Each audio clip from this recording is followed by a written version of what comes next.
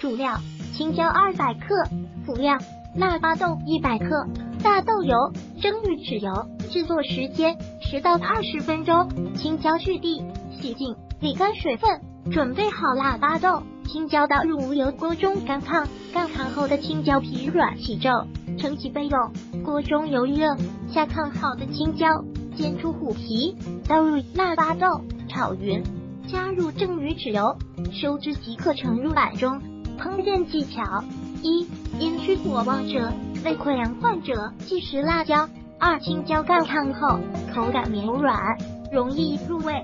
如果喜欢本视频，请分享并订阅本频道。